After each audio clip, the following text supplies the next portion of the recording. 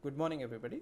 I'm Rushad Mistry and I'll be discussing about ultrasonic range sensors today. So the learning outcome for this session are you'll list you'll be able to list features of ultrasonic range sensors and you'll also be able to enumerate applications of these ultrasonic range sensors.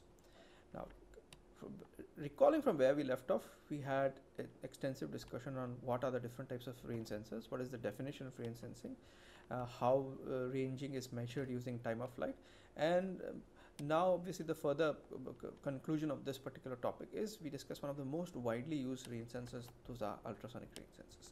Now if you can see in the figure on the left i have one of the most uh, common range sensors which is um, available for all laboratory experiments and other services.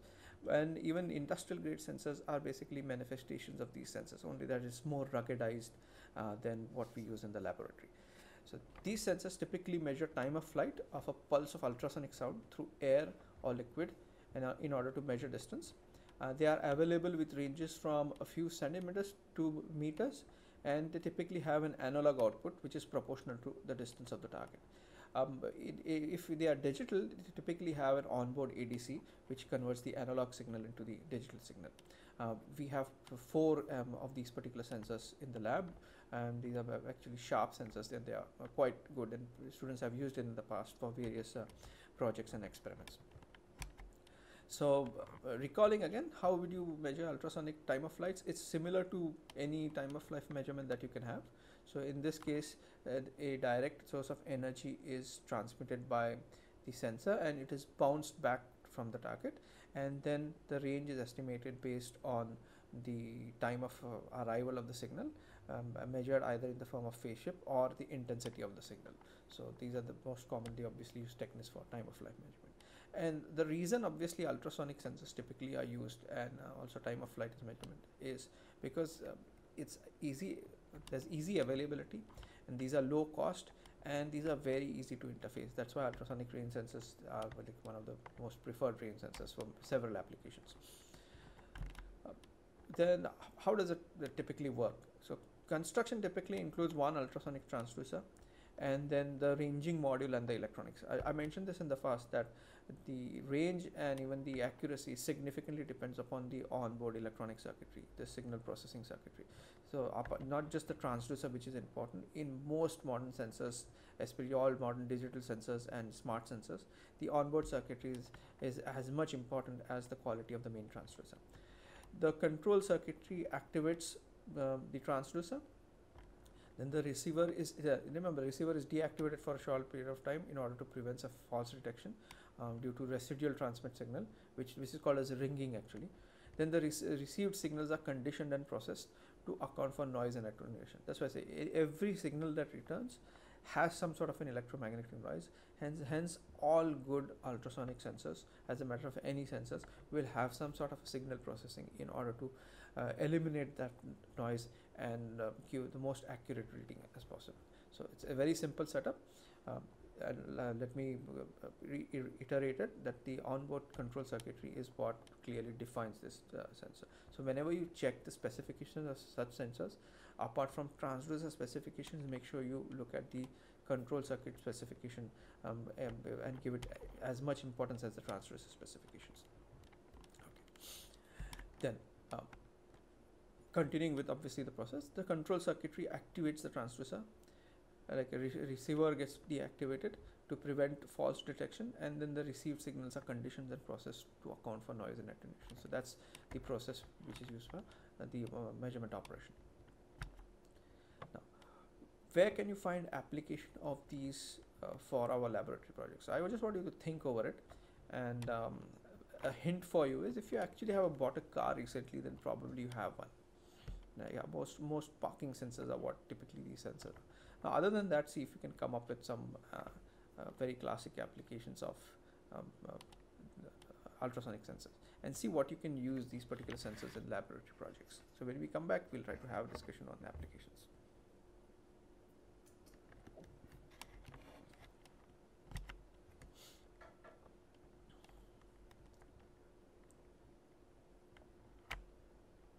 Now, uh, continuing from where we mm, left off, remember um, I, I mentioned this that if you actually have a car, you probably have an ultrasonic sensor, which is basically your parking assist sensor. So it's one one of the most widely used sensors when it comes to parking assist. The range of applications of ultrasonic sensors is very diverse. It's one of the most widely used sensors, and the most common application obviously is object detection. So ob object detection in um, factory automation in robotic uh, robotics is by far one of the most common applications when it comes to ultrasonic range sensing. So in this particular case, the transmitter transmits a signal, the signal bounces off a target, and then it can detect the presence of an object or the absence of an object. And then it can, th this part is, is a part of a larger control system, then which can take a decision on what exactly has to be done. So presence and objects uh, and absence of parts typically is on a moving conveyor, for example, is one very classic application of ultrasonic range sensors. The other obviously is to actually estimate the distance. Now we say it's a range sensor, so one of the the obvious application is actually to measure the range of an range of an object. Now in ultrasonic applications, we typically use sound waves in the ultrasonic frequency range, and uh, it's this is preferred. You, you have to understand because the circuitry is significantly simple for sound as compared to light. Sound travels at a speed which is several several times less than that of light 3 lakh or 300,000 kilometers per second as against let's say 340 meters per second. So uh, uh, the thing with sound based systems is you can get a very high resolution um, when in very uh, with reasonable you can say electronic sophistication.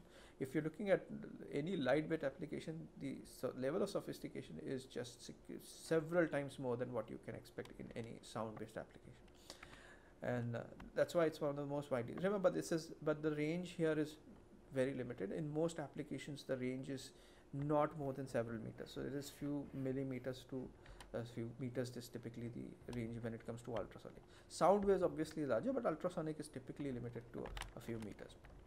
So measuring distance is like i said one of the major applications for ultrasonic range sensing. Uh, uh, I, I mentioned this before. The applications are actually tremendous. Like there's there's the, there can be an entire session on what the applications of range sensors are. So if you have to just do a summary of this, um, in mobile robotics, typically position estimation is what you use ultrasonic range sensors for. So uh, this is actually used in localization. And if you don't have a global system of localization, then ultrasonic sensors can be used to in order to estimate the position of the robot in, in terms of some sort of a local coordinate. Um, collision avoidance is again a very very widely used um, you can say application um, of ultrasonic range sensors. And this is not just in mobile robotics it is used in other uh, in uh, in uh, vehicles and automobiles as well today. But mobile robotics you can say is the first case where collision avoidance was introduced. And ultrasonic range, uh, sensors are significantly better than say infrared range sensors when it comes to collision avoidance so it's found wide application in automation, automobile and logistic applications. Another, uh, this thing is motion detection. In security systems, um, which typically are, used in homes nowadays, uh, they are typically either passive infrared and an alternative uh, transduction obviously here is ultrasonic uh, sensor. And these will detect motion of objects and then a security alarm can be set off if some, let's say an intruder is detected. So that's where typically an application of ultrasonic sensor. But uh, let me tell you in in mo motion detection, especially security systems, passive infrared are uh, preferred over ultrasonic sensor. Whereas in industrial auto automation, obviously we prefer ultrasonic sensor. Then other industrial uh, application, like I said, collision detection, like uh, the, the various you can say coll collision detection is a very generic term. The same concept can be actually used to measure level or depth. So ultrasonic range sensors have been used extensively to measure level or depth, especially non-contact type. If you're using contact type, then um, potentiometric arrangement through a lever arrangement can be used. But otherwise, even depth measurement and level measurement in wide range of process engineering, ultrasonic range sensors find application and these typically include like even in paper print industry like if i have to generalize uh, industrial domains then uh, they find application in paper and print uh, in textile industries plastics packages and metalworking in order to um, identify gaps between two parts. And th there are several applications like i mentioned for ultrasonic sensor. Um, coming back again to automobile um, uh, i mentioned your parking assist is one of the classic example that you can find when for, for ultrasonic range sensors. Typically in the rear bumper there will be at least four sensors. Uh, you can uh, you can add to it by adding a camera, but parking sensors can get the job done. So they will estimate the distance of that particular object and then they will give some sort of an auditory warning which increases in frequency as you approach that particular object. So the, here the, one question arises should we call them as uh, uh, range sensors or proximity sensors? Yeah, they do detect proxim proximity, but since it's not a fixed threshold and they do estimate the range of that object to a certain level, it's it's fair enough to classify them as range sensors as well. And collision detection is also one application that uh, will come in automotive uh, uh, um, that in cars in order to estimate the distance of a car which is in front of you. So that is one application of range sensors which is going to be the case. It also will be used to range the distance of the the car which is in front so that you can maintain a certain distance of your car from the other car. And it is going to find extensive application when it comes to autonomous driving. Defense obviously is one area where ultrasonic sensors find wide applications and um, I definitely urge that you read the Mechatronics Handbook by Bishop. It has a dedicated chapter for sensors, and it's it's definitely a worth read. For some introductory um, information about the same, uh, Mechatronics by Bolton. Um, Introduction to Mechatronics by Bolton is also a very good read. Chapter two is dedicated obviously to sensors over here. Thank you, and we'll continue with the discussion on other types of sensors in the next session.